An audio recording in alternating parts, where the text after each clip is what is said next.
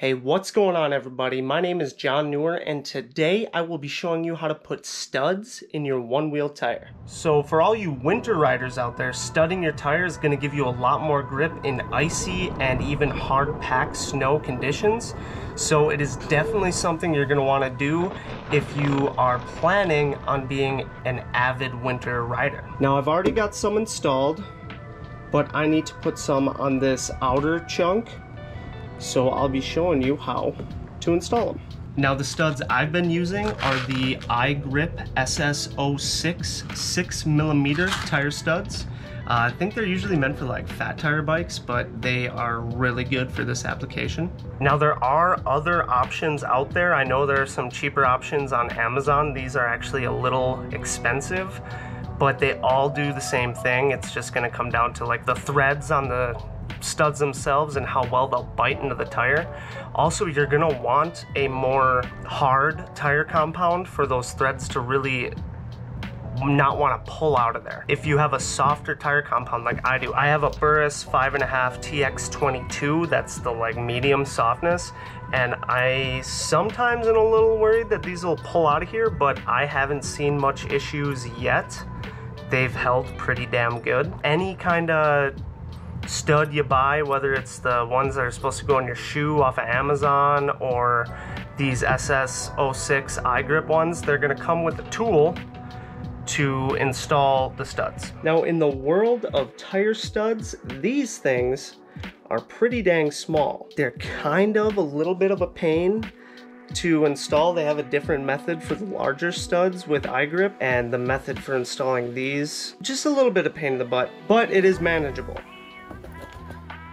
I totally forgot to add how many studs to use. I used about 52 studs in my tire, but you can definitely use more and you could use a little less. It's gonna be up to personal preference. So back to the video. Now the tool from iGrip is a quarter inch drive, so I just slap it on my impact. And then this fits in here and it allows you to drill these in. All right, so things you will need your studs, the bit that came with them to install them. I highly recommend a drill. You can do them by hand. It's, it's really not good. Um, so I would recommend a drill. And then I would use a Sharpie. If you have a silver one, it shows up better, obviously, on the black tire. But if you use the Sharpie, you can mark where you want the studs and then it's easy to just drill them on in. Now my original thought was I have 26 rows of tread like this. So if I put one, two, three, four in every other tread, it would end up pretty good. But it was a little bit of an oversight because all of these in the middle are lined up together. If I would go back and do this again, I would have these two here and these two here, just a little bit of an offset so that it's gripping more coming around as opposed to having a lot of grip here and not much here. Now you shouldn't have to worry too much about clearance. Uh, the GT I've noticed is kind of not the best for clearance. And even so, I haven't had any problems even in a free spin with these studs rubbing against anything. It is prime. So you got all your holes marked out as to where you want them. Personally, I do it with the tire inflated, ready to go. You're gonna want your tire sealant ready for after you put these in. Since I already put some of these in, I have tire sealant in the tire already. I might have to add more. Armadillos is good or tire candy from One Wheel Parts. All right, so you got your stud, you got your uh, drill. You're gonna fit that in there, line it up on your mark, and you're gonna have to apply a little bit of pressure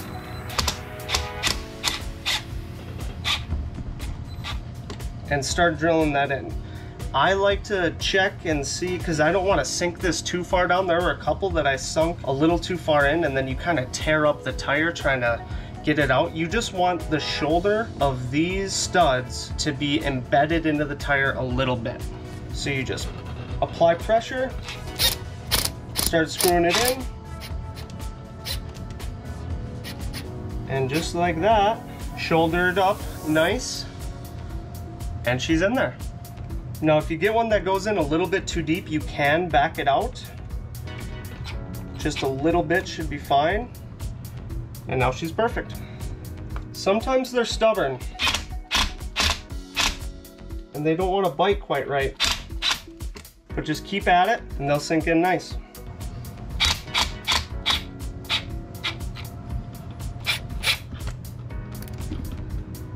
I like to always have the stud that I'm putting in at the top of the tire so I'm not trying to push to the side and rolling everything all over the place. Just so that you have nice even pressure pointing downwards.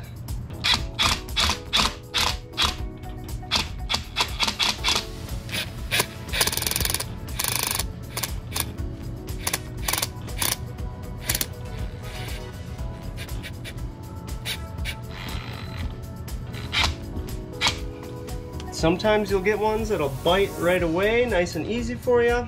Sometimes you get ones that you gotta fight with. It's just the way of the road, bubs.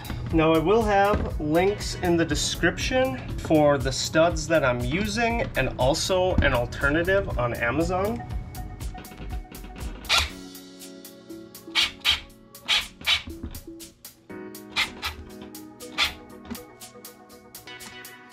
Well, that was a nice last one. It bit immediately.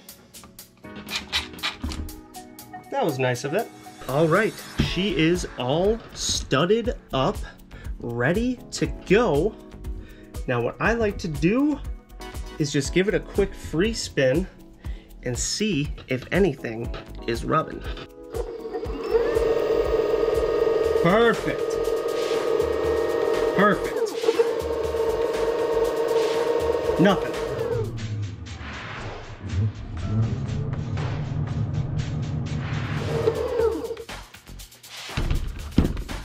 Now that's what we like to see.